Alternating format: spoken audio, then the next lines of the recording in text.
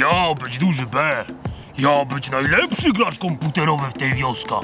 Ale ja mieć komputer z epoki kamienia upanego i nikt we wioska go nie lubić. Ja nie wiedzieć czemu. Klawiatura się wysypać. Moja myszka uciec. Ale spoko, ja już złapać nową. Dysk taki wolny, że prawie nie ładować gier, a razem z zasilaczem taki głośny, że ja podczas startu systemu muszę chować się przed kurami szablozębnymi.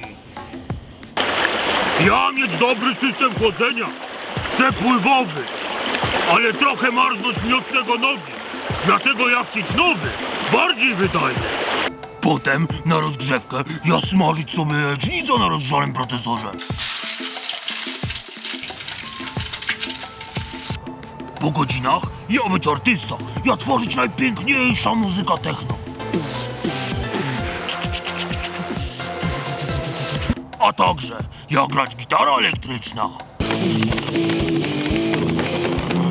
Czasami ja też malować, ale wiedzieć, że moje prace wyglądać lepiej w rozdzielczości 4K Ultra HD na pełnych detalach. Dlatego ja potrzebować nowa karta graficzna i monitor. Ja widzieć, że Serwex 2412 z druga wioska ma świetny piecyk. Ja go chcieć, ja pójść do niego, ja o niego walczyć. Ale on ma dużo many, full expa i jeszcze jest taki wielki. Od tego czasu ja mieć straszne problemy z pamięcią RAM. Ja potrzebować dwie nowe kości. Moja baba próbować upgrade'ować płyta główna, ale ona zacząć od czyszczenia. Ja mieć przez nią problem z biosem. Jak chcieć nowa płyta główna? I nowa baba. Proszę, Morelli Ballistics, odpicujcie mi komputer.